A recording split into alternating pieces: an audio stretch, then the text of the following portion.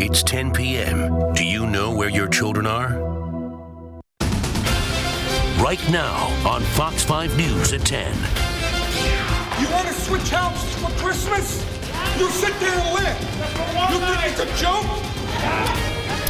Real frustration on Staten Island. A town hall meeting about the Sandy recovery that isn't recovering. Hello, everyone. I'm Greg Kelly. And I'm Sharon Crowley. Dari Alexander is off tonight. Well, it's been one month since the hurricane slammed into this area, causing death and destruction. And real recovery in some areas has only just begun. And for too many people, this recovery is taking too long with too many bureaucratic hurdles in the way. Frustrations were vented tonight at New Dorp High School on Staten Island, and John Huddy is there now. Hello, John. Seemed intense.